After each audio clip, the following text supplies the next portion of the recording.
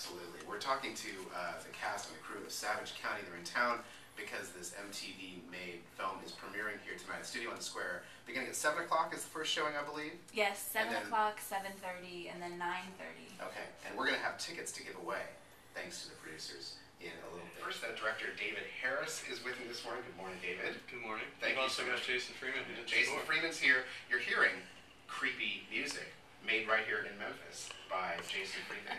Uh, for those of you who haven't heard about uh, Savage, we should just fill you in. David, what are uh, people going to be seeing? What is Savage County all about? Uh, Savage County, in the, in the tradition of Texas Chainsaw Massacre, is, uh, is a film about some kids in a small Texas town that uh, uh, get on the wrong side of a family of uh, murderous hillbillies. and And, how do they how do they do that? Uh, they uh, they kill the the, the paterfamilias of, of the family.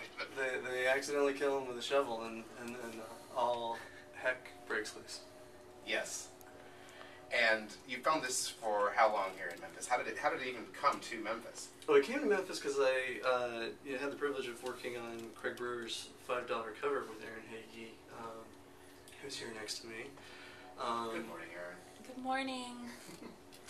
Um, so I was I was one of the producers on the MTV side. We shot we shot in three weeks. Um, we mainly in Memphis, a little bit in uh, in. Uh, Month, and I remember being very hot when you were here. It's and, very hot. And, and why why Me- uh, Memphis though? I mean, you said that you obviously we all worked together on, on uh, Five Dollar Cover for those of you who did- don't know that. Uh, but why'd you come back? I mean, why why was this a place you wanted to make this film? Well, I mean, the crew, you know, both on the people that came with me from LA and uh, the people here, you know, tend to be kind of well-rounded filmmakers. David's a family man. It's very perplexing. It's 9:31 this morning on the Mystery. Be back at a little bit. Jimmy Crosthwait is here. Jeff Pope, also from Savage County. It's premiering tonight in uh, Midtown. Tickets are still available. We'll tell you more about how to do that. It's a benefit for Indie Memphis right now. Here are the Franks from the soundtrack of Savage County right here on the Mystery Train WEVL.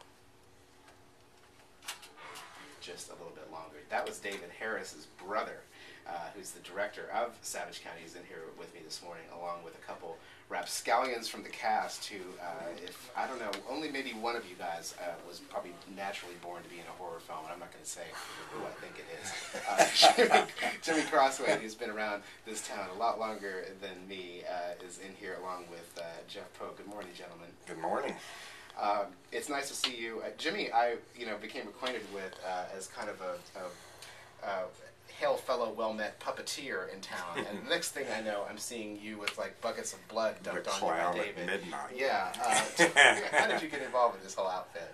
Well, uh, it was um uh, kind of a, I guess, uh, she's an actress that played one of the teenage girls that we torment and torture. And uh, when I'm slamming her about, I used one of really my old witch characters' voices. Yeah. I'm gonna throw you in the soup and watch it eat you alive. You're gonna beg to die. You thought it was bad at first. I'm gonna. I mean, it's like that. yeah. One of my more favorite. These are all memorable gentlemen. lines. I think it's quiet. Jersey Shore, yo!